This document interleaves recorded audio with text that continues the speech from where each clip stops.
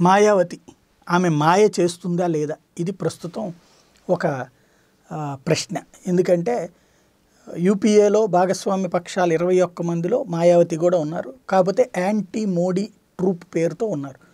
యూపీఏలో నేరుగా ప్రత్యక్షంగా పాల్గొనకపోయినా యూపీఏతో సంబంధాలు అలాగే కొనసాగిస్తున్నారు. అందులో చంద్రబాబుతో కలిసినే సాగిస్తున్నటువంటి వేళ అకస్మాత్తుగా పవన్ కళ్యాణ్తో కలిసి పొత్తు కుదుర్చుకున్నటువంటి సందర్భంలో రాజకీయానికి సంబంధించి కొత్త మార్పు అనేది స్పష్టంగా కనబడింది. ఆ మార్పులో భాగం ఆంధ్రప్రదేశ్లో క- తెలంగాణలో కలిసి పోటీ చేస్తుంటాం. సరే పోటీ అనేటువంటిది ఆర్భాటంగా ప్రకటించారు కానీ ఆ స్థాయిలో బీఎస్పీకి అభ్యర్థులు ఉన్నారంటే లేనటువంటి పరిస్థితులలో దాన్ని మళ్ళీ పార్టీని బూస్టప్ చేయడంతో పాటుగా జనసేనని బూస్టప్ చేయడం కోసం మాయావతి రాష్ట్రానికి వచ్చారు. ఆమె రెండు రోజుల కార్యక్రమాలు అందులో కీలకమైనటువంటిది తాజాగా ప్రెస్ కాన్ఫరెన్స్ సందర్భంగా ప్రధానమంత్రిగా మాయావతిని చూడాలని మరో మరోసారి పవన్ కళ్యాణ్ ముఖ్యమంత్రిగా పవన్ని చూడాలని చెప్పి మాయావతి ప్రకటనలు ఇచ్చారు. అదే సందర్భంలో బడుగు బలహీన వర్గాలకు సంబంధించినటువంటి న్యాయం చేయాలంటే మాయావతినే కరెక్ట్ అని చెప్పి పవన్ కళ్యాణ్ అలాగే మాస్ ఇమేజ్ బాగా ఉన్నటువంటి పవన్ కళ్యాణ్ ముఖ్యమంత్రి కావాలని కోరుకుంటున్నానని మాయావతి ప్రకటించారు.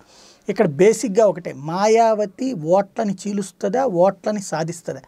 సీట్లని దెబ్బతీస్తుందా సీట్లని సాధిస్తుందా? ఇది ఖచ్చితంగా మిలియన్ డాలర్ల ప్రశ్న. ఎందుకంటే ఒకటి నుంచి మూడు శాతం ఓటింగ్కి పరిమితమైనటువంటి బహుజన్ సమాజ్ పార్టీ కార్యకర్తలు యాక్టివేట్ అయితే ఆ యాక్టివేట్ అయినటువంటి కార్యకర్తలు జగన్ని దెబ్బతీస్తారన్నటువంటిది ప్రస్తుతం పరిశీలకులు వేస్తున్నటువంటి అంచనా. కాకపోతే ఎంత ఓట్ల పర్సంటేజ్ జగన్కి దెబ్బతీస్తారు అనేటువంటి దాన్ని డెవలప్ చేయడం కోసం ప్రస్తుతం మాయావతి రంగప్రవేశం అనేటువంటిది పనికొచ్చింది. మాయావతి మాయ చేయగలిగితే ఒక ఐదు నుంచి పది శాతం ఓట్లు కనుక దెబ్బతీయగలిగితే అప్పుడు జగన్కి లాస్ అయ్యేటువంటి పరిస్థితి ఉంటుంది. లేకపోతే ఒక పోటీదారుగా జనసేనని హైప్ చేయడానికి పనికొస్తుంది. టోటల్గా విజయాలకు సంబంధించినటువంటి అంశంలో అంతగా లెక్కలోకి ఉండదు. కాబట్టి రాజకీయం క్షణానికి ఒక మలుపులు తిరుగుతున్నటువంటి వేళ మాయావతి రంగప్రవేశం రాజకీయాల్ని మారుస్తుందా లేదా అన్నటువంటిది ఎన్నికల తర్వాతే తెలుస్తుంది.